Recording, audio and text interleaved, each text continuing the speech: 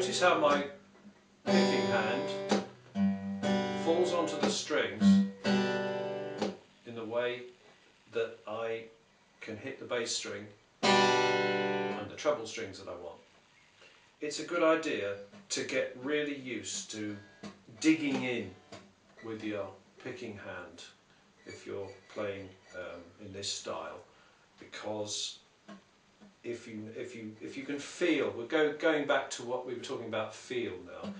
If you can feel where those strings are you can feel the difference between the different gauges of the strings or you will begin to learn to do that.